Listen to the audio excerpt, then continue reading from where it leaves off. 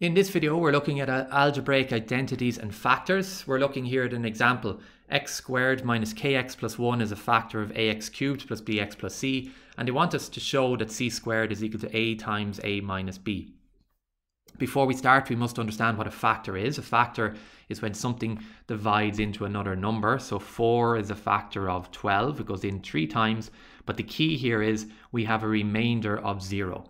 So we need to remember that that's what a factor means. It divides in and it leaves us with a remainder of 0. So I'm going to divide basically x squared minus kx plus 1 into ax cubed plus bx plus c. So that's what I'm dividing in. Now you will notice here that I don't have a power of 2. And in order to use long division, we must make sure that we count down in our degrees, our powers. So I'm going to rewrite that as ax cubed, which is as per the question. But I'm going to put in an x squared now. And the x squared that I'm going to put in has a 0 in front of it. So plus 0x squared. And that's known as a placeholder. I'm holding the place of an x squared. Then going back up, I have my plus bx plus my c. So just make sure that you put in your 0x squared there. Now I'm going to divide. So take your time with it. x squared into ax cubed goes in ax times. I now multiply back down my ax, so ax multiplied by the three terms here. So multiplying it by the x squared gives me um, ax cubed. Multiplying the ax by minus kx gives me minus akx squared. And then ak multiplied by 1 gives me plus positive 1ax. I'm now going to change the signs there. So that becomes a negative, becomes a positive, becomes a negative. Uh, ax cubed minus ax cubed will cancel, so they become 0. Uh, 0 plus akx squared leaves me with positive akx squared. So 0 plus anything just leaves me with the number. And now I'm on bx, minus 1ax. Well, I'm going to do a little bit of rough work over here so you can see what that looks like. So that is bx um, minus 1ax. Now I'm going to factorize out that x, so that's the same as b minus 1a all times x. And that's the way I'm going to write that now. So that's plus uh, b minus 1a times x. I'm then going to bring down my c, my constant. And I'll divide in again a x squared into akx squared. Well, the x squareds will cancel, so that just leaves me with, on the top, plus uh, ak.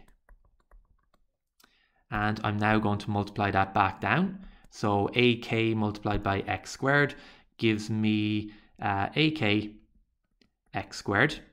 ak multiplied by minus kx is going to give me a negative ak squared x. And then the ak multiplied by the positive 1 is giving me a positive 1ak. I'm now going to cancel them out. So change the signs. Minus becomes a plus, plus becomes a minus. ak x squared minus ak x squared will cancel out.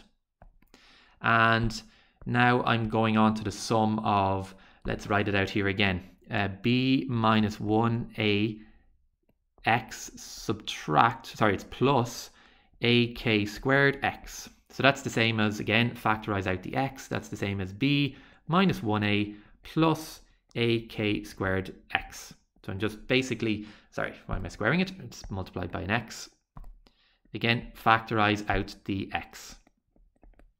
So bringing that back over, what's that giving me? So b minus 1a plus ak squared all times x.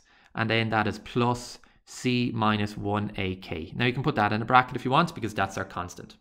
So remember, we should have got a remainder of 0. So this is my remainder, but I know because it must be a factor that that must be 0 because that's my remainder.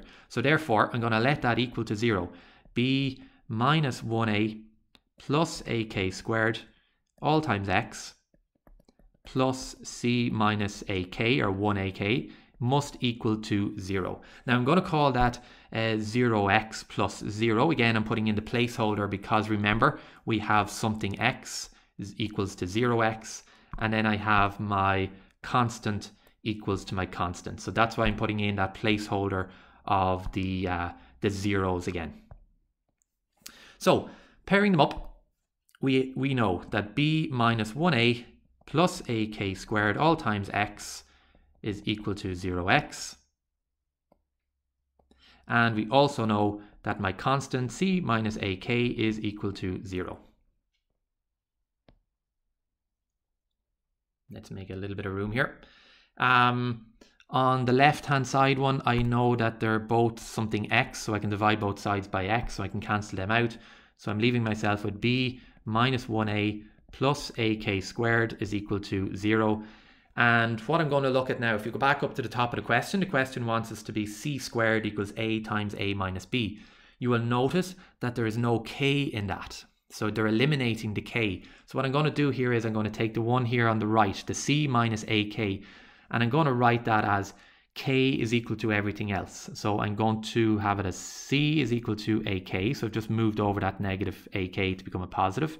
And then I'm going to divide both sides by a. So I'm writing k in terms of c and a. And the reason for that is I'm now going to sub in this c over a for k over here. And you will notice then that I'm writing it then in just of terms of a's and b's.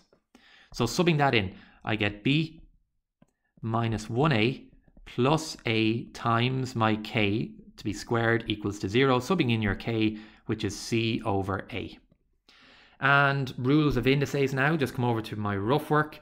What does c over a all to be squared give me? Well, that means I square the top and square the bottom. I square the numerator and the denominator. So therefore, that's giving me b minus 1a plus a all times c squared over a squared equals to 0. Now, that's the same as putting that a over 1, top by top, bottom by bottom. So notice now that that a on the top will cancel with one of the a's on the bottom. So that's leaving me then with b minus 1a plus the a's have cancelled. So c squared over a equals 0. Again, remember that that's squared, that second a cancelled with the one on the top. So taking it out of the bracket, b minus 1a plus c squared over a equals to 0. Now I want to get rid of that fraction. I don't want something over a. So to get rid of that uh, denominator, I'm going to multiply across by a. So multiplying across by a will give me a multiplied by b gives me ab. a multiplied by minus 1a will give me minus 1a squared.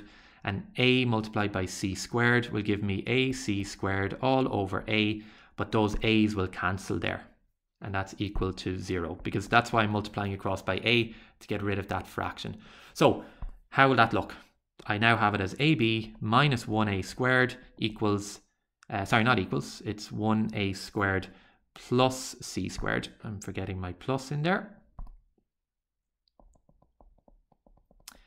And we're practically on the home stretch. Just look at the question, what way did they want it written again? They wanted it to be c squared equals everything else.